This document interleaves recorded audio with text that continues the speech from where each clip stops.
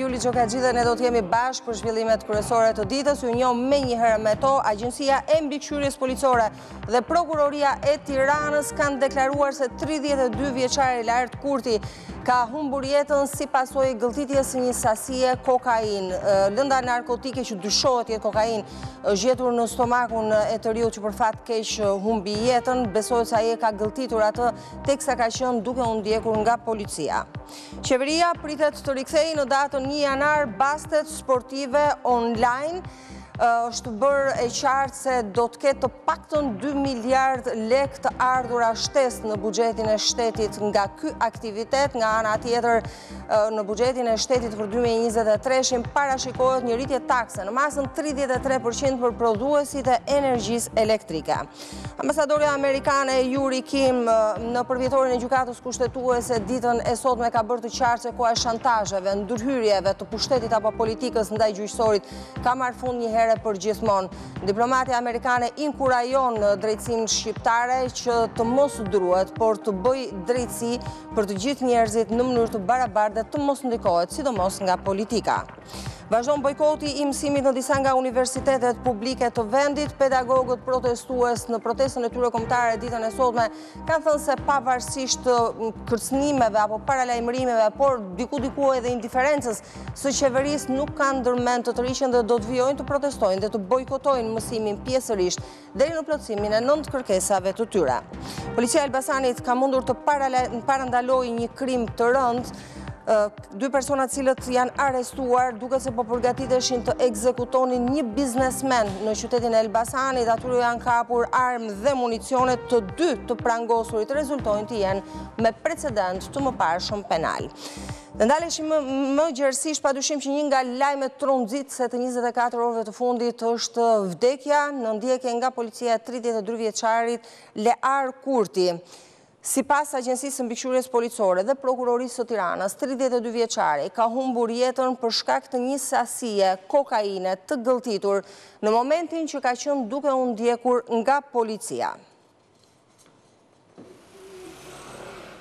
Prokuroria e Tiranës dhe Agjencia e Mbikëqyrjes Policore në një njoftim zyrtar deklaruan se vdekja e tridhjetë e dy vjeçarit Lear Kurti ka ardhur si shkak i gëlltitjes së një sasie të lëndës narkotike, të dyshuar kokainë. Pas ekspertizës mjeko-ligjore në stomakun e viktimës është gjetur një qese plasmasi me ngjyrë të bardhë që dyshohet se ishte mbushur me kokainë.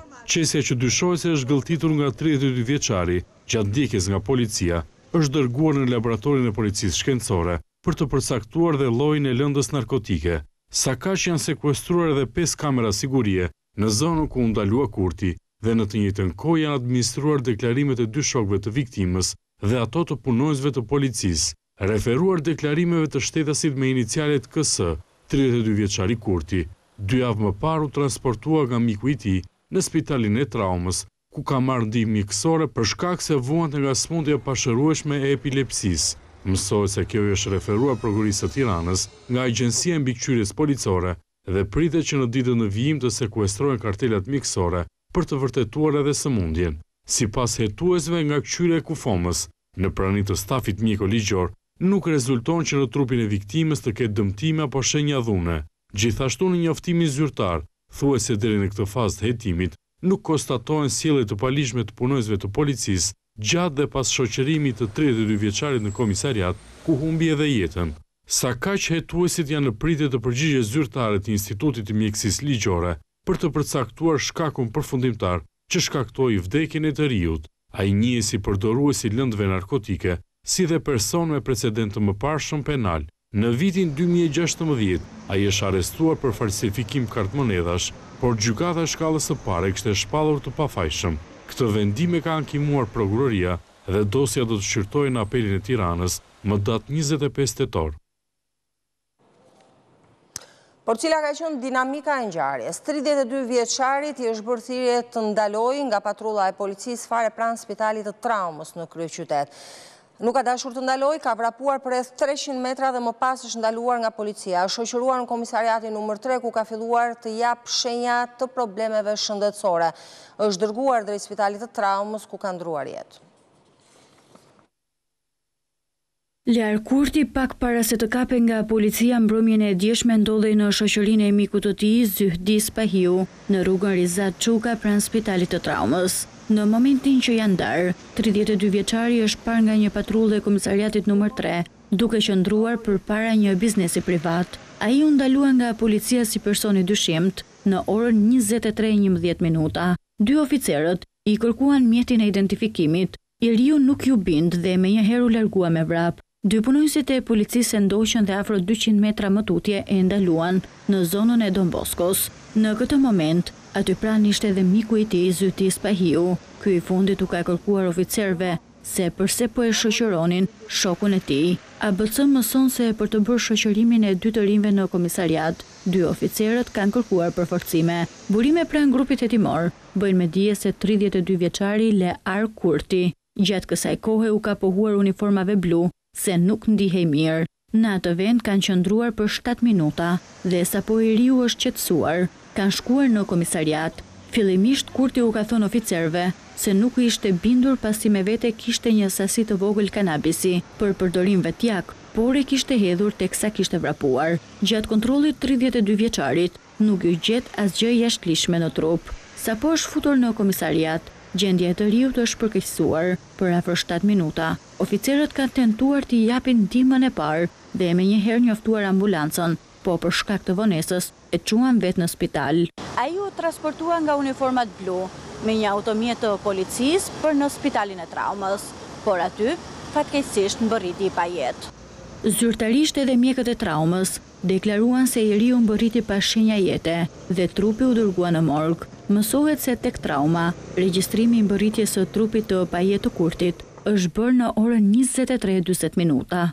Më herët në komisariat u shoqërua edhe miku i tridhjetë e dy vjeçarit. Zyhdi Spahiu u kap i dehur në makinën e tij, me të cilën u afrua pranë vendit ku u ndalua fillimisht Kurti. Ai u gjobit për këtë shkelje dhe më pas u la i lirë. Por për kreun e Partisë Demokratike, Sali Berisha, të dhënat zyrtare nuk janë të sakta. Për Berishën, Lear Kurti, tridhjetë e dy vjeç, u vra nga kriminelët me uniformë. Kriminelë me uniformë i morën jetën të riut tridhjetë e dy vjeçar Leart Kurti. Ky është një krim një vrasje shtetërore e shëmtuar e banditëve të Edi Ramës dhe ministrit të tij të familjes Çuçi. Me këtë rast unë i shpreh ngushëllimet më të ndjera familjes së të riut Leart Çuçi. Por Shpreh revoltën time më të fuqishme ndaj këtij akti kriminal të përsëritur të banditëve dhe vrasësve me uniformë, për të cilët nuk ekziston asnjë lloj norme ligji dhe morali.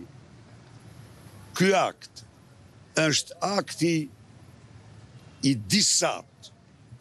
që vrasës me uniformë marrin jetë të të rinjve në rrugë, në makinat e policisë, në komisariat. Fatjon Softa, një nga drejtuesit, ish drejtuesit e lartë të policisë së shtetit, më është bashkuar në lidhje të drejtpërdrejtë në këto momente për të diskutuar së bashku për ngjarjen e rëndë të mbrëmjes së djeshme, po pa dyshim Edhe për ngjarjet e tjera që kanë ndodhur në një hark kohor shumë të shkurtër. Janë katër të tilla, tre brenda pak kohësh. Zoti Softa, përshëndetje, faleminderit që jeni në radar. Përshëndetje dhe kënaqësi në emisionin tuaj. Ishte bindëse, Agjencia e Mbikëqyrjes së Policisë dhe Prokuroria që cituan ekspertizën mjeko-ligjore ditën e sotme, ishte bindëse për ju? Së pari fillojmë që nga Fillimi i kronologjisë së ngjarjeve ose të deklaratave të para të nxituara ndoshta nga Policia e Shtetit që citonte për ngjarjen që personi kishte një sëmundje shoqëruese. Pastaj doli që personi ka pasur një qesk pra përdorimin e një lënde narkotike që ka qenë mbidozë Një deklaratë ishte që ai kur arriti në spital humbi jetën në spital, ndërsa deklarata të tjera janë që kur arriti në spital ai ishte i vdekur, domethënë, e kishte humbur jetën. Këto janë momente shumë të rëndësishme, sepse kanë një ndjeshmëri publike, aq më tepër që lidhen me forcat e policisë dhe me strukturat e policisë. Të gjitha ngjarjet që kanë ndodhur në strukturat e policisë dhe brenda saj, kryesisht nëpër komisariate, Kanë qenë ngjarje të cilat kanë lënë gjurmë dhe në një farë mënyre jo vetëm tek publiku, tek besimi, te ndjeshmëria e publikut ndaj policisë, por dhe vetë tek strukturat e policisë të cilat e zbehin, e ulin forcën e saj, e demoralizojnë trupën e policisë e të gjitha me radhë, sa herë që sulmohet, goditet për ngjarje të ndryshme, siç ka qenë ngjarja e Kamzës, ku një person u var në ambientet e komisariatit, ngjarja e Rashës që ka ndodhur pavarësisht se ka një afat kohor, ngjarje të tjera, pra të gjitha këto ngjarje janë ngjarje të Kavajës, të Korçës, janë disa, ngjarjet e Kavajës e Korçës, pra janë bërë shumë ngjarje. Dhe të gjitha këta vënë një lloj pikëpyetjeje jo tek forcat e policisë, jo tek kapacitetet e saj, por tek elementët që punojnë në polici për trajnimin dhe trajtimin e tyre, në mënyrë të tillë që të punohet edhe për sa i përket përgatitjes jo thjesht vetëm profesionale, po edhe emocionale, të kontrollit tyre sidomos të forcave operacionale apo të forcave që janë në terren, që janë në territor, që janë në komunikim me publikun. Të gjitha ato forca si ky rast, siç ishte edhe reparti Shqiponja, rastet e patrullës përgjithshme, apo rastet e qarkullimit rrugor, apo rastet tjera. Të gjitha këta sjellin domosdoshmërinë që të punohet fort në polici lidhur me përgatitjen e tyre jo vetëm profesionale, por mbi të gjitha dhe me këtë sjellje të kontrolluar të emocioneve të tyre gjatë kryerjes dhe ushtrimit detyrës. Fakti që ekspertiza mjeko-ligjore zoti Stofta thotë që nuk ka shenja dhune përveç shenjave të prangave të vëna në kyçet e duarve, shmang tërësisht mundësinë e ushtrimit të dhunës Po të kemi parasysh që familjarët për orë të tëra kanë kërkuar ta shihnin trupin dhe nuk janë lejuar. Dhe ndonjëherë për opinionin janë më bindës familjarët se sa mjekësia ligjore. Familjarët kanë të drejtën e tyre sepse është fëmija i tyre, humbën jetën e tyre dhe kjo është krejt normale ndjeshmëria dhe përgjegjësia që janë të detyruar të mos mbajnë, mos të jenë hermetikë në raport me fëmijën e tyre, sepse patjetër ata janë të interesuar dhe duan të shkojnë deri në fund asaj që është e vërteta. Çfarë ndodhi me fëmijën e tyre nga 20 nga ora 23 deri në momentet që ne po flasim. Por ka një ekspertizë, ka një një një deklaratë që është kjo që ju sapo e cituat lidhur me këtë ekspertizë mjekësore. nuk ka dhunë, nuk ka dhunë, këto janë gjitha deklarata të dhëna nga prokuroria dhe nga policia e shtetit, dhe nuk e di nëse familjarët kanë pasur mundësi që të kenë një informacion më, më shumë lidhur me, me fëmijën e tyre. Por, kjo është një, një, një situatë që kërkon të zbardhet, dhe zbardhja nuk mjafton vetëm me këtë akt, por duhet të, të kishte një transparencë, për shembull, ë dikur punonjësit e policisë, sidomos forcat operacionale, po jo vetëm forcat operacionale, po dhe forcat e qarkullimit rrugor, u pajisën me kamera trupore. Po. Nuk e di pse mungojnë këto kamera trupore, do të ishin një provë shumë e mirë që nga momenti i kontaktit, ndalimit, shoqërimit të tij e deri tek paraqitja në komisariat. Dhe çfarë ndodhi në komisariat? Atje pastaj janë kamerat e brendshme të ambienteve, të cilat patjetër duhet të kqyren dhe duhet të shikohen për të parë si janë zbatuar procedurat lidhur me shoqërimin, me marrjen në pyetje apo jo të personit, sepse nga dhënat e para ishte që nuk ndaloi kërkoni kartën e identitetit për ta verifikuar kush është personi, Pastaj nxorrën që paska qenë me precedent, që paska qenë njeri problematik etj etj. Këto janë gjëra të tjera që vijnë më pas. Ne flasim për procedurat e ndalimit, shoqërimit të personit dhe deri në momentin kur jepet njoftimi për humbjen e jetës. Ndërkohë, sa i takon humbjes së jetës, zoti Ysofta, sa i takon humbjes së jetës, jepen këto lloj konstatimesh. Pra, u tha në një moment që ka qenë epileptik, pastaj që ka gëlltitur një lëndë të dyshuar kokainë, që mund ta ketë gëlltitur në kohën që ndiqej nga policia, sepse i është gjetur një pjesë qeseje në stomak, e të tjera si këto. Në të dyja rastet në qofshin të vërteta, epilepsia nuk nuk shkakton vdekjen së pari. Së dyti gjithkush di të veprojë në një çast krize epileptike. E qoftë ky edhe një polic, pak a shumë e dimë të gjithë se si veprohet ose lajmërohet minimalisht ambulanca. Dhe rasti i dytë që ju ju duhet ta njihni shumë mirë se besoj në karrierën tuaj keni patur raste të marrjes së mbidozës sikurse u konsiderua momenti i gëlltitjes së kokainës. Ka një afat kohor, një lëndë narkotike që të japi efektet e saj, apo jo? Sa minuta mund të ketë zgjatur e gjitha për të shkaktuar vdekjen? Përveç efektit dhe afatit kohor, duhet të fillojmë nga kronologjia. Po. Ku e mori dhe e gëlltiti ai këtë qesen? Sepse u tha që iu bë thirrje, personi vrapoi, u ndoq nga ata, u ndalua, Dhe pastaj u shoqërua në komisariat. E gëlltiti gjatë kohës që vraponte, Po, gjatë kohës së ndaluar, besohet. gjatë kohës që ishte në mjet, gjatë kohës që arriti në komisariat. Ku e gëlltiti këtë gjë? Pra të gjitha këto janë disa momente të cilët duhet të kemi një një sqarim. Pra një sqarim edhe nga vetë punonjësit, po dhe nga strukturat të cilët e morën dhe bënë këtë hetim. E dyta, nga momenti që personi është ndjerë keq, Çfarë veprimesh ka bërë policia, sa ka qenë koha për t'i dhënë ndihmën e parë? Flasim për ta çuar pranë një qendre spitalore të specializuar. Pra, fjala mungoi ambulanca, nuk erdhi me, erdhi, erdhi me vonesë, e çuan me mjetet e policisë. Të gjitha këto janë gjëra të cilat duhet të faktohen. Pra momenti i njoftimit, e cila kërkon hetim dhe momenti i nisjes së një mjeti të policisë për ta dërguar në në spital. Personi ka vdekur në ambientet e komisariatit, ka vdekur gjatë rrugës apo ka ka vdekur në ambientet spitalore. Pra gjitha këta gjëra duhet të sqarohen dhe pastaj kur u bë autopsia, sepse ka një kohë për cilën duhet bësh një autopsi. Autopsia nuk mund të bëhet në momentin që personi vdes. Duhet të jepet koha, duhet të bëhet këqyrje, duhet të ngrihet grupi hetimor e tjerë për të bërë atë Këto të gjitha janë momente të cilat kërkojnë një lloj sqarimi, patjetër që të mos kemi hamendje, të mos kemi dyshime dhe të mos bëjmë aludime. Këto janë momente shumë të rëndësishme dhe nëse do kishim dhe brenda makinave të policisë kamera, patjetër dhe aty do të evidentohej çfarë ka ndodhur dhe gjatë transferimit të tij nga momenti i ndalimit, vendosjes së prangave deri në komisariatin e policisë. Pra, bëhet domosdoshmëri mbajtja e kamerave trupore të efektivëve të policisë, sidomos të patrullave të këtij lloji, Kamerat brenda automjeteve dhe pa dyshim kamerat në çdo ambient të komisariateve të Policisë së Shtetit. Patjetër, sepse në shumë vende të botës ato i aplikojnë, po themi ne marrim edhe mjetet publike që kemi edhe në qytet, autobuzët, mjetet e tjera kanë kanë kamera, të cilat janë për rastet e situatave të ndryshme që mund të ndodhin, pra evidenton, parandalon etj etj. Edhe kjo duhet të evidentojë. Kjo u pompua me shumë sukses, një lloj investimi që nuk ishte i vogël për kamera trupore, dhe kjo vazhdoi për një farë kohë, pastaj nuk e kuptoj pse nuk u mirëmbajtën, nuk ishin pjesë këmbimi, nuk ishin nuk i donin këto kamera sepse këta mund të evidentonin probleme e me radhë. Pra ai investim që u bë duhet të mbahej dhe duhet të mirëmbahej. dhe patjetër sidomos shërbimet e natës patjetër duhet t'i kenë sepse ndeshen me shumë e me shumë probleme dhe është mirë që të evidentojnë edhe në raport me komunikimin me qytetarin. Kemi shkelje nga qytetari, kemi shkelje nga punonjësi i policisë, kemi tejkalim të kompetencave apo çfarë ka ndodhur, apo kemi elementë të dhunës verbale apo të presioneve nga njëri apo nga tjetri krah. Të gjitha këto do të ishin evidentime që transmetoheshin patjetër siç ka qenë në sallën operative, në mënyrë të tillë që dhe ata të ndiqnin situatën për problemet që do kishin. Dhe do ishin prova bindëse për organin e hetimit për situatën jo vetëm për këtë, por për çdo situatë tjetër që mundet policia e shtetit të të ndeshet.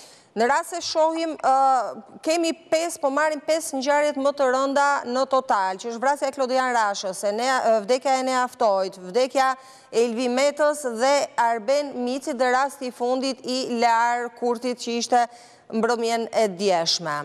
Nga ato që folëm deri tani, pra që nga dinamika, mënyra e sjelljes së policisë, mënyra e hetimit të ngjarjes dhe prononcimeve zyrtare ose dhënies së versionit zyrtar apo deklaratave të bëra, ka patur ndonjë lloj diference nga njëra tek tjetra, pra ka një lloj përmirësimi të punës?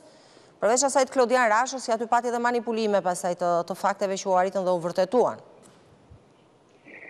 Në përgjithësi, ka një lloj ndryshimi për sa i përket mënyrës për të komunikuar, por shpeshherë ajo që nuk që nuk duhet të jetë, duhet të jetë deklaratat duhet të jenë të kujdesshme, duhet të jenë të matura, dhe të mos jenë të nxituara. Sepse nëse ne i krahasojmë pastaj deklaratën e orëve të para me deklaratën e orëve të mëvonshme, ne shohim që ka një mospërputhje. Dhe nga momenti që ka mospërputhje që mund të vijë edhe për shkak të pakujdesisë, që mund të vijë edhe për shkak të mungesës së profesionit, mund të vijë për shkak të panikut për të mbrojtur forcat apo për të mbrojtur strukturat, apo për të mbrojtur njerëzit të cilët mund të binin nën akuzë, atëherë këto pastaj fillojnë bien ndesh dhe nuk tingëllojnë mirë në opinionin publik dhe veçanti tek personat e interesuar. Sepse këtu pastaj lind ajo që ne themi dyshimi dhe dyshimi vjen jo thjesht për tre apo katër punonjës po pastaj i vishet gjithë strukturës policisë që nuk është e drejtë por është e rëndë që të akuzojmë forcat e rendit. Prandaj deklaratat e policisë duhet të jenë të kujdesshme, duhet të jenë të matura dhe duhet të jenë të përpunuara në mënyrë të tillë Sepse janë në vëmendje të veçantë. Media e merr dhe e përpunon, qytetarët e dëgjojnë dhe e mbajnë mend e me radhë. Dhe pastaj kur rikthehemi pas, shohim që kemi diferenca. Dhe këto diferenca pastaj hedhin hije dyshimi dhe themi ka manipulim etj. Për shembull, opozita shqiptare ose eksponentë të opozitës shqiptare bëjnë ato akuza që ishin edhe në parlament, edhe në media. Vrasje policore kanë quajtur. Po quhet vrasje policore. Dhe familjarët e hedhin dyshimin për vrasje policore. Atëherë, midis asaj që themi akuzë publike nga opozita, akuzë publike nga familjarët dhe midis policisë, hetimit dhe të dhënave që policia jep në versionin përfundimtar. Prandaj nga momenti fillestar dhe deri në momentin final, kur kemi prova më të sakta, Duhet të vinë të kujdesshme deklaratat, që mos bien ndesh pastaj, siç ndodhi me Rashën, që ishte një pistoletë në afërsi, u krijua ideja sikur ai kishte një armë etj etj. Të gjitha këto japin atë që themi ne pastaj manipulim i ngjarjes, ose dyshime për manipulim të ngjarjes. Prandaj, të gjitha këto ngjarje që po ndodhin, po ndodhin shumë ngjarje në komisariate, kanë ndodhur në brendësi të komisariateve, që tregon edhe një herë që duhet një punë e jashtëzakonshme nëpër komisariatet e policisë. puna nuk do të jetë vetëm anë profesionale, por duhet të jenë edhe ata janë qenie njerëzore, dhe ata janë jetojnë nën trysni, edhe ata janë që herë pas herë kanë emocione sikurse edhe njerëzit e thjeshtë, por me një ndryshim. Qoftë se njerëzit e thjeshtë nuk janë të rrezikshëm, ata janë të rrezikshëm, sepse kanë armën, kanë fuqinë e pushtetit, kanë fuqinë e manipulimit, kanë patjetër dhe reagime që i krijojnë dëme besimit të publikut pastaj për policinë e shtetit. Prandaj është ajo që kemi thënë që duhet të jetë edhe psikologu brenda ambienteve të tyre, duhet bërë një punë përgatitore lidhur me anën psikologjike të këtyre punonjësve të policisë për ngarkesat që ato kanë. Pra, nuk dua të ndaloj për momentin, por dua të them si do të kurojmë probleme të tilla, sepse këto probleme nëse shtohen siç janë duke u shtuar, pastaj vënë në pikëpyetje seriozitetin dhe forcën e policisë së shtetit. Zoti Softa ishte kënaqësi që ju kisha në këtë lidhje të drejtpërdrejtë, faleminderit për bisedën. Faleminderit. Faleminderit isha me zotin Fatjon Softa, ekspert për sigurinë, padyshim ish drejtues i lartë i policisë së shtetit. Është koha të ndalim dhe të flasim për projektbuxhetin e vitit 2023 zbardhen detajet e para.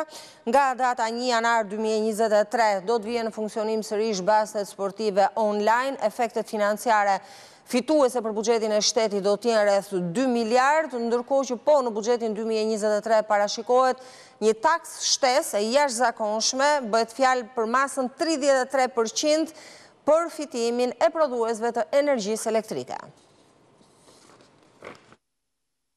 Rikthehet aktiviteti i basteve sportive online. Në projektbuxhetin e vitit dy mijë e njëzet e tre është parashikuar nisja e këtij aktiviteti që prej një janari të vitit të ardhshëm. Ky vendim vjen katër vjet pasi qeveria i shpalli të paligjshme lojërat e fatit. Së fundmi, në një dëgjesë me grupet e interesit, kryeministri Edi Rama tha se aktiviteti i basteve kishte vazhduar në të zezë. dhe ligjërimi do të sillte të ardhura në buxhet që do të ndihmonin ekonominë në këtë kohë krize.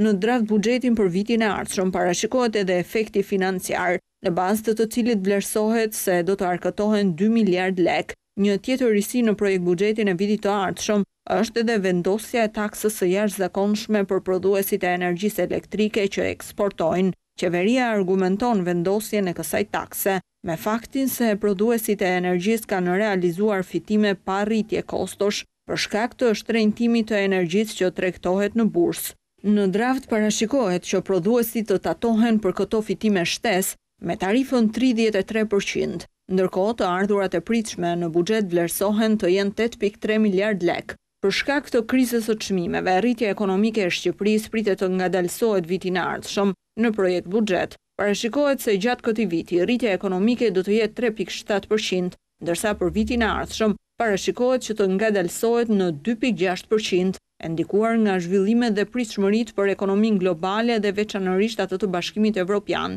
në vitin dy mijë e njëzet e tre.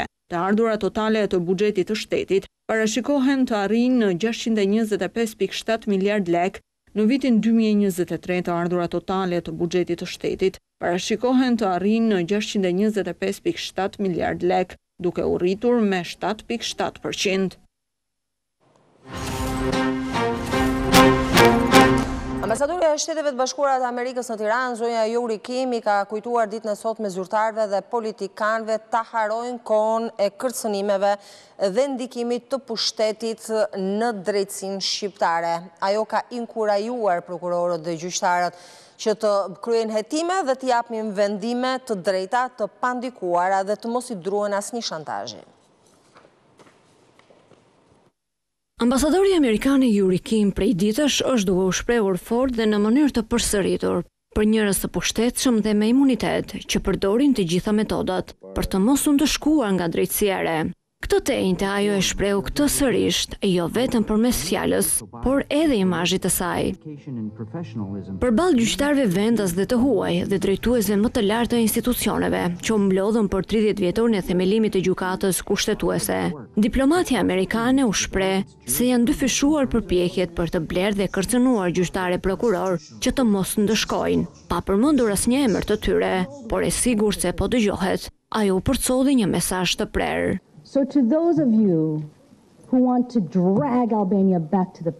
Të gjithëve ju, juve që doni të zvarritni Shqipërinë përpara në të kaluarën, ta zvarritni atë me shkelma e ulërima, Me njerëzit që vuajnë, ju them, ndalni. Ndalni, kohës tuaj i ka ardhur fundi. Shumë herë me ton urdhërues, ambasadorja Kim përmendi fjalën ndalni. Koha e të bërit telefonata, të dërguarit emisarë, të dërguarit dhurata, e kërcënimeve për të zbuluar sekrete të errëta nga një e kaluar e shëmtuar, e premtimit të dhuratave, të cilat nëse pranoheshin, hidhnin bazat për një tjetër sekret të errët. për një tjetër të ardhme të errët. Ajo kohë ka marrë fund. Ju i shijuat privilegjet tuaja. Ju e shijuat imunitetin tuaj. I mbushët xhepat tuaj. I mbushët xhepat e fëmijëve tuaj, të miqve tuaj. Ndalni. Ka marrë fund. Koha juaj ka marrë fund. U kërkoi dhe gjyqtarëve të distancohen prej atyre që duan t'i korruptojnë e të mos frikësohen. Mjaft iu përgjigjët atyre telefonatave, mjaft pranuat dhurata, mjaft u frikësuat nga ato kërcënime. Lërini shqiptarët të marrin frymë, lërini të jenë të lirë, lërini Shqipërinë të jetë e shkëlqyer. Në aktivitetin për Gjykatën Kushtetuese ishte dhe kryeministri Rama, që më shumë se gjykatës, i përçoi mesazh politikës. Si mundet të evitojmë që duke iu adresuar Gjykatës Kushtetuese për shumë gjëra të cilat në vendet normale zgjidhen në rrugë të tjera, të mos kontribuojmë dhe të mos e vëmë Gjykatën Kushtetuese në pozitën kontribuj për të tejzgjatur mbajtjen e konflikteve. Pas kësaj fjale ai u largua duke përshëndetur vetëm kryetarin e Gjykatës Kushtetuese dhe asnjë tjetër nga të pranishmit, ambasador apo politikanë. Mesazhe motivuese u përcollën dhe nga presidenti Bajram Begaj e po ashtu kryetarja e Gjykatës Kushtetuese Vitore Tusha. Gjykata Kushtetuese është kurora e demokracisë. së një vendi dhe rojtarja e paqes sociale. Drejtësia është imazhi më i qartë i shtetit të së drejtës, vlera e paçmueshme për të cilën ia vlen të luftosh vazhdimisht dhe në çdo kohë.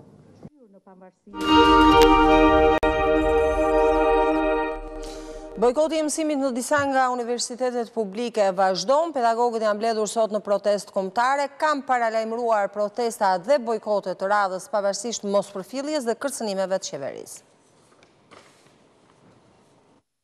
Në kampusin qendror të Universitetit Politeknik u mblodhën më shumë pedagogë se në tre ditët e para të protestës. Këtë të enjte u bashkuan edhe pedagogë nga universitetet publike të vendit. Ministri thotë që s'ka rritje page ka që njëzet vjet, duhet të kishte ba indeksimin e pagës. Po të kishte ba indeksimin e pagës, s'kishte nevojë me e rritë fare. Universiteti i Durrësit, Fakulteti i Studimeve Profesionale. Si ju duket pjesëmarrja sot? Pjesëmarrja sot, mm, ok, duhet të ishin dhe më shumë, përderisa ne protestojmë për një drejtë legjitime tonë. Duhet t'i rikthejmë dinjitetin profesorit i cili është institucion. Duhet kuptuar që profesori është institucion.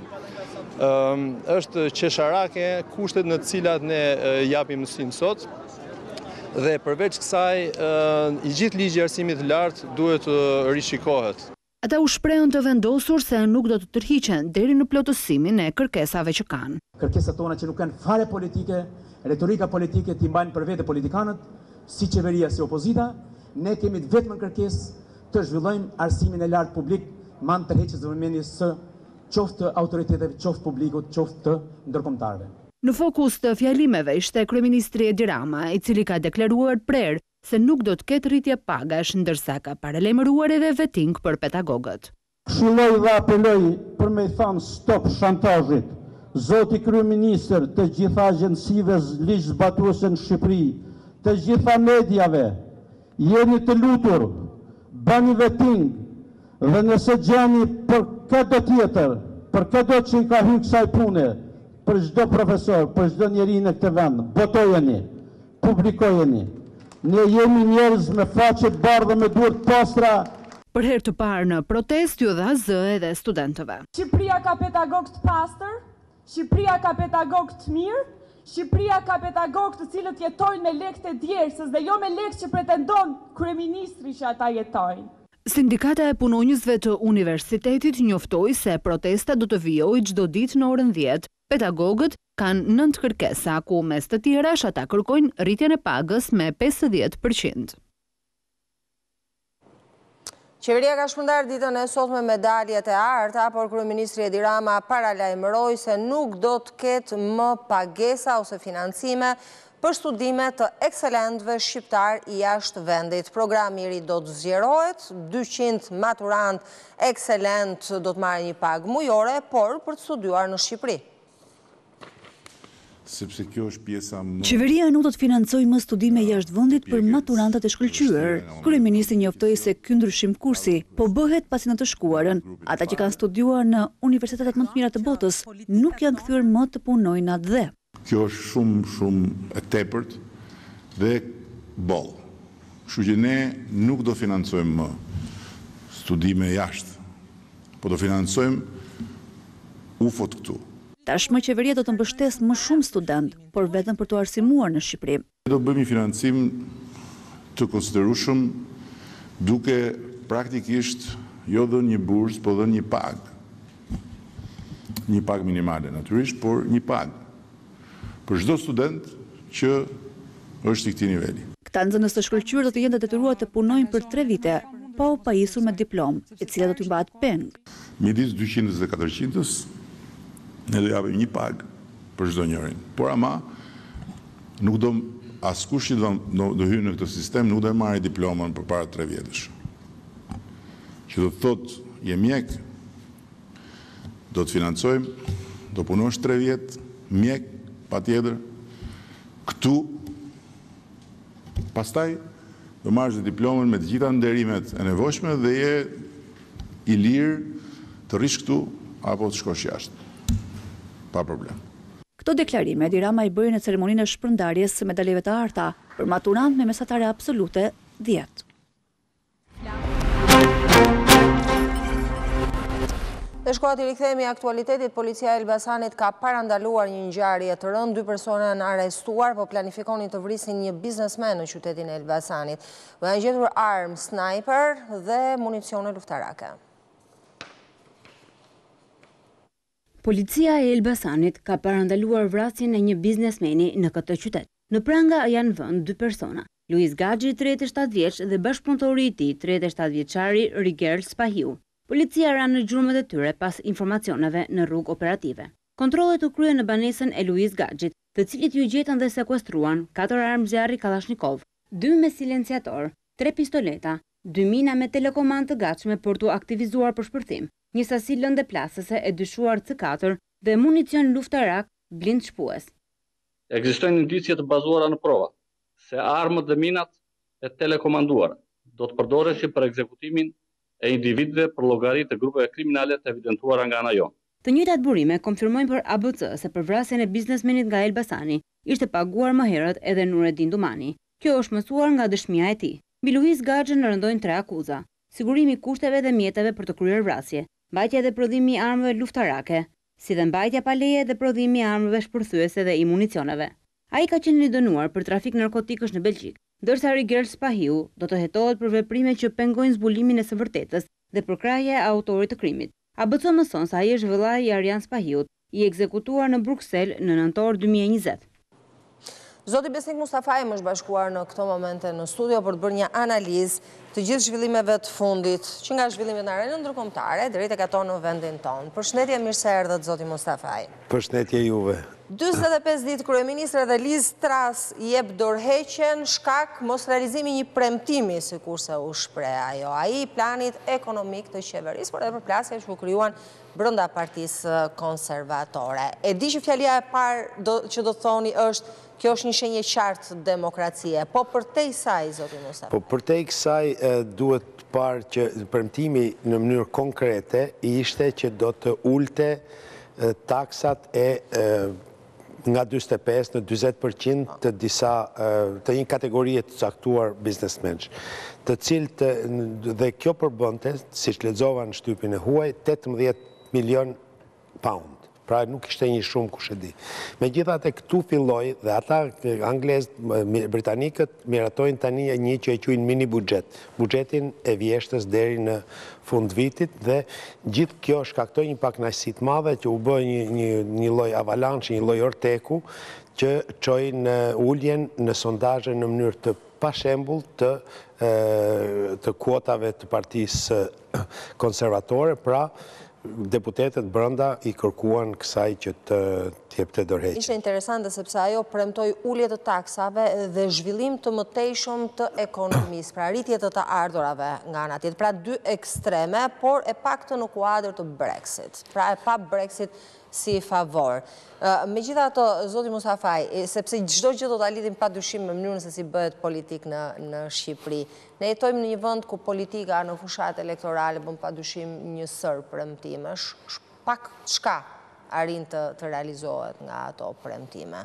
Është është një shembull për për t'u marrë, pse jo për t'u thënë me me zë të lartë? Në vendet demokratike janë të përditshëm shembujt nga të cilët mund të mësojë politika shqiptare. Pra nuk është ky shembulli i vetëm, nuk është një përjashtim, nuk është një gjë e rrallë madje. Në këtë kuptim, unë besoj se problemi për politikën tonë është se i mungon koshienca receptive, pra i mungon ndërgjegja e përthithjes së përvojës demokratike, sepse nuk ka në themelin e kulturës së vet, parimet demokratike. Në këtë kuptim, pastaj mund ta shohim shumë gjërë. Vetë partia duhet të analizojë në çdo moment lidershipin e saj pra që ka qua. Po, në qoftë se ul kuotat e partisë, në qoftë se ul popularitetin e partisë. Vetë shoqëria është një shoqëri shumë e ndjeshme ndaj premtimit, pra dhe ndaj realizimit të një të një premtimi elektoral.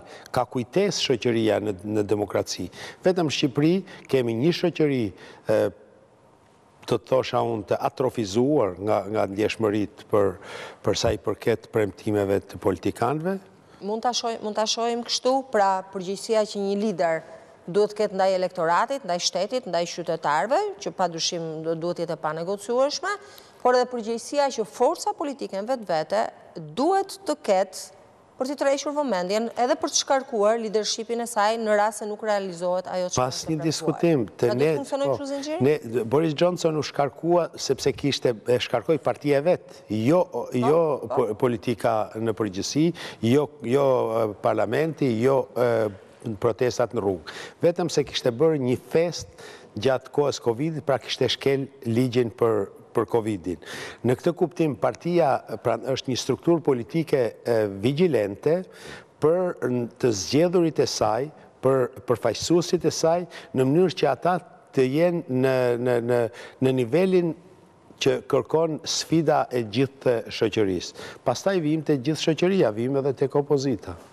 Mirë, meqënëse erdhëm dhe e bëmë krahasimin me me politikën shqiptare, le të vazhdojmë kështu sepse në fund dua të pyes diçka edhe për Kosovën, meqënëse atje ka qenë zoti Escobar, i cili sot është takuar edhe me presidentin e Serbisë. Por le të mbetemi pak tek politika shqiptare, por duke parë pak fillimisht këtë linjë, linjën e indiferencës apo mospërfilljes apo mungesës së përgjegjshmërisë.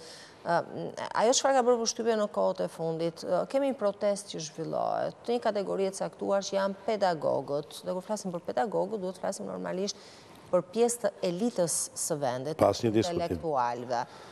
Mund të realizohen, mund të mos realizohen kërkesat e tyre, mund të jenë të drejta, mund të mos jenë të drejta, e ka mundësinë qeveria t'ua plotësojë apo jo është një gjë, gjuha e përdorur, pra kërcënimi që do t'ju kontrollojmë pasuritë, që do do t'ju fusim në vetting.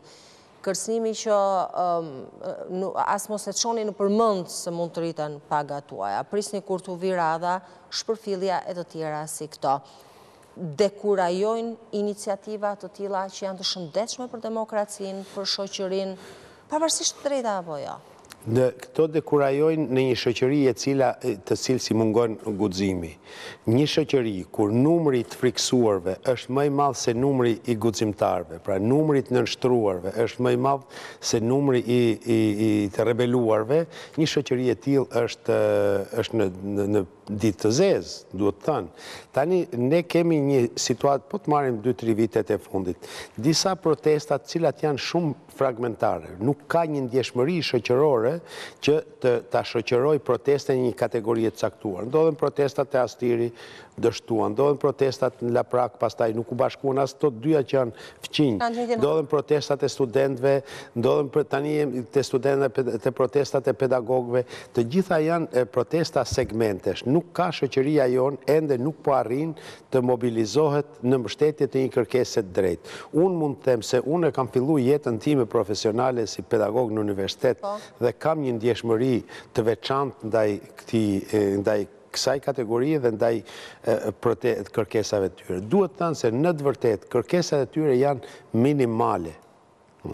Sepse nuk ka asnjë arsye reale të shpjegueshme me nivelin ekonomik, me mundësitë e qeverisë, me problematikat në përgjithësi që një pedagog shqiptar i universiteteve publike shqiptare në mesatare të marrë sa gjysma e një pedagogu në universitetet publike të Kosovës. Është anormale.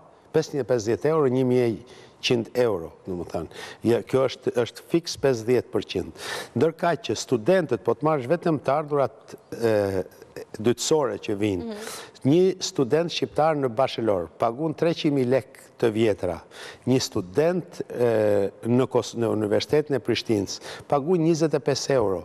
Në një semestër, pra dy semestra, pesëdhjetë euro. Flasim për publikun gjithmonë. Gjashtë herë për publikët gjithmonë. Pra paguan pesë herë më pak, gjashtë herë më pak, gati, një student në Kosovë dhe një profesor i tij e ka dy herë më të madhe pagesën. Në këtë kuptim, se çdo gjë bëhet me krahasim, në këtë kuptim, një profesor universiteti, Nuk mund të paguhet kaq sa paguhet. Ai është i shpërfillur. Pastaj vijnë edhe kërkesat e tjera për kushte pune e për të gjitha ato çka e rrethojnë dhe e bëjnë të respektueshëm dhe që ta dojë punën pedagogun e universitetit. Pra, është një elitë dhe është një elitë e cila është e shpërfillur që tek buka e gojës e deri tek kushtet e punës. Ky kontroll i pasurive që paralajmëron.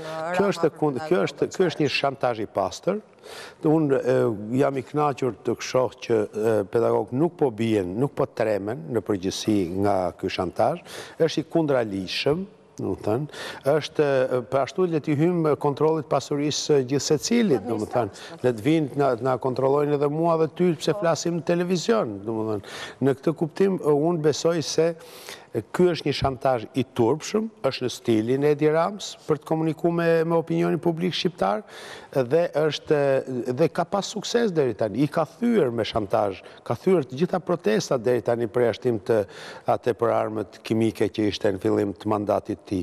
Pra, nëse Me sa duket atë nuk e harron asnjëherë. Po me sa duket, po. Aty ndryshoi krejt sjellja e zotit. Ai ka kuptuar që shantazhi funksionon deri diku, unë shpresoj se koshienca intelektuale, por edhe edhe kurajo intelektuale, pedagogët nuk do t'i... Si ka mundësi që asnjë nga rektorët, të cilët ishin në takim me zotin Rama, nuk ngre zërin për një gjë tillë? Po ky është një turp, sepse rektorët janë zgjedhur nga pedagogët.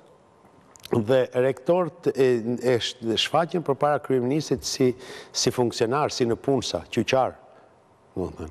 Nuk ka asnjë sens, unë kam vërejtje shumë serioze dhe për pedagogët e universiteteve private, sepse kategoria ku këta bëjnë pjesë gjithë, duhet të jetë e unifikuar në respektimin e statusit të pedagogut. Vërtet në universitetet private më thonë që paguhen më mirë, po jo shumë mirë as atje.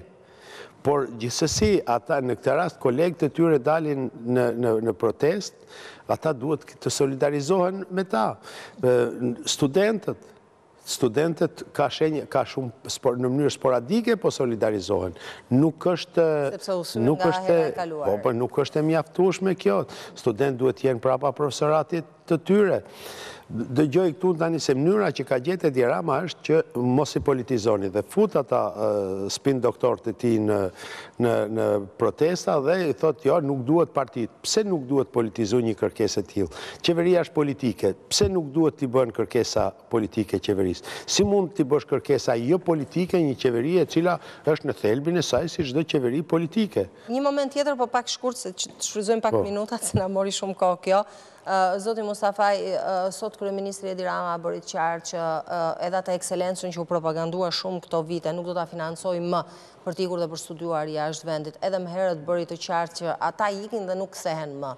Pra nuk kontribuojnë më pse duhet t'i paguajmë ne të shkojnë të studiojnë atje edhe të mos vijnë të kontribuojnë për vendin. Mund ta detyrosh në fakt një një të rritë? Të them të drejtën, unë nuk jam për t'jua pagu studentëve studimet jashtë. Flasë për efektin. Me paratë publike. Nuk ka pse paguhen me paratë publike. Le të marrin kredi, siç marrin në shumë vende të botës, studenti nëse do të shkojë në një universitet shumë të mirë, le të marrë kredi ai vetë, le të marrë kredi prindi i tij në qoftë se nuk ka para. Domethënë kjo krijon pabarazi, sepse djali, fëmija i një biznesmeni shumë më mesatar se një fëmijë i një punëtori, mund të shkojë të studiojë edhe në Harvard, që është universiteti më i shtrenjtë i botës, ndërsa ky nuk mund të shkojë në një universitet jashtë, por studenti i mirë e ngre edhe nivelin e universitetit këtu. Por në në që paratë publike të përdoren për të financuar studime jashtë, unë nuk kam qenë dhe nuk jam. Vim pak tek pjesa e opozitës, kanë nisur ato negociatat e ethshme, duket se sinjalet janë të mira, e shihni si një nisje të mbarë që mund të përfundojë me bashkimin e Partisë Demokratike, apo entuziazmi është i tepërt në këtë fillim, sepse kleçkat mund të dalin rrugës. Po në qoftë se nuk përfundon me bashkimin e gjitha korrenteve po i quj, atëherë kjo ka do të ketë një rezultat minimal, vërtet do të ketë një rezultat të rëndësishëm sepse do të dalim me një kandidat, pra do shmang përçarjen përballë elektoratit, por ata pak njerëz që mbështesin ende Lulzim Bashën, sepse ai është, nuk është Enkelejt Alibeaj, që të jemi të ndershëm në këtë histori, ata që mbështesin ende o të qërojnë një nostalgji ose një detyrim moral, nuk do e japin votën kam frikë unë, kam pas komunikime disa nga ata nëpërmjet të rrjeteve sociale dhe më thonë le të bien dakord Gaz Bardhi thonë me me Sali Berishën, ne nuk ja japim votën atij që do zgjedh foltorja. Domethënë është nëse shkohet në një fuzion total ku zhduket perspektiva e e e e vazhdimit të të përçarjes, atëherë edhe elektorati do bashkohet. E kuptoj. Ndërkohë nga ana tjetër Partia Socialiste duket më e impenjuar për këto zgjedhje, gati gati më e impenjuar se sa opozita, e cila duhet t'i kishte nisur përgatitjet shumë më herët. Kryeministri Edi Rama dhe kryesocialisti Rama ka nisur takimet në bazë. aktualisht. Ka tre ditë tashmë. Nga eksperienca unë them që nuk është vonë opozita, por përtej kësaj, sigurisht që ka pas probleme që ende vazhdojnë që duhet t'i zgjidh përpara se të të hyjë në fushatë. Nëse llogarisim që zgjedhjet janë në maj, pra i bie 6 muaj e më shumë kohë.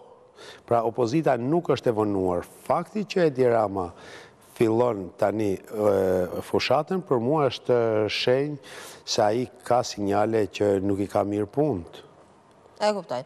Mirë, dua të kalojmë pak tek Kosova, për cilën e kemi folur shpesh, kemi diskutuar që ka një lloj impenjimi të shtuar në kohët e fundit, Gabriel Escobar, zyrtari i lartë amerikan, ka mbërritur në Prishtinë një ditë më parë, sot ka qenë takim me presidentin e Serbisë, duket se kryefjala mbetet Një dialog konstruktiv, po praktikisht për këtë dialogun konstruktiv, çfarë shihni ju që të bëhet? Se deri tani duket se jemi në kuadrin e deklaratës. Dialogu konstruktiv është një këshillë e vazhdueshme. Parimore. Parimore, e vazhdueshme, edhe pasi të bëjnë marrëveshjen, ata do të këshillohen gjithmonë Kosova me Beogradin, do këshillohen që së bashku të zhvillojnë dialog konstruktiv, sepse fqinjësia pa dialog nuk ka. Por ajo çka mua më duket se ka hyrë në një farë rruge shpresëdhënëse, është fakti që ka një plan, po e quajmë franko-gjerman. Pra ka një angazhim shumë më të madh të Francës dhe Gjermanisë, të cilët presupozojnë se fillimisht duhet të zgjidhet një kuadër i këtyre i këtyre bisedimeve që nënkupton njohjen reciproke dhe pastaj duhet shkuar tek marrëveshjet konkrete që që janë pasojë dhe garanci se mund të se mund të jetë produktivitet produktiv kjo ky pranim i i njëri-tjetrit. Unë nuk besoj se se Escobar dhe administrata Biden janë kundër kësaj zgjidhje, nuk janë shprehur, me sa kam e kam ndjekur unë problemin, nuk kemi deklaratat e Escobarit lidhur me këtë program me këtë me këtë plan po e quajmë franko-gjerman. Vuçiçi ka folur më shumë se sa lidershipi i Kosovës lidhur me me këtë plan.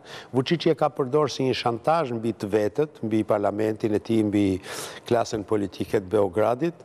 Mbetet për t'u parë, po mua më duket se dhe jam i bindur, duke e njohur se çfarë çfarë buldozeri do të ishte një një një një bashkim franko-gjerman për ta zgjidhë këtë problem, kjo do të çonte besoj unë në zgjidhje.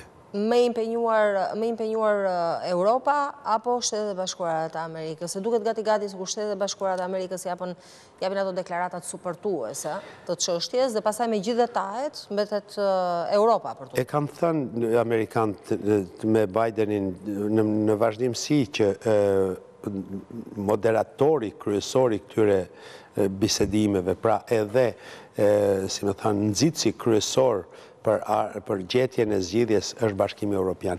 Nuk ka dash administrata amerikane ta marrë lidershipin Kjo e Bidenit po flas, ta marrë lidershipin, por ka dashtë të jetë vazhdimisht prezente dhe mbështetëse. Fakti që ka një një të ngarkuar të posaçëm në Departamentin e Shtetit, në administratën Biden, për këtë problematikë tregon një vlerësim shumë të lartë që ka në Uashington. Zoti Mustafaj, ishte kënaqësi që ju kisha në studio, ju falënderoj për bisedën. Faleminderit juve. Faleminderit, isha me zotin Besnik Mustafaj, ishte biseda e fundit për Radarin mbrëmjen e sotme, padyshim ne do takohemi nesër, si çdo ditë në orën 19 me zhvillimet e fundit. Ndërkohë që gjithçka do ta gjeni të pasqyruar në faqen tonë të webit, abcnews.al, në faqet tona në rrjetet sociale dhe padyshim edhe në kanalin tonë në Youtube. Dhe bashkë takohemi nesër, mirupafshim.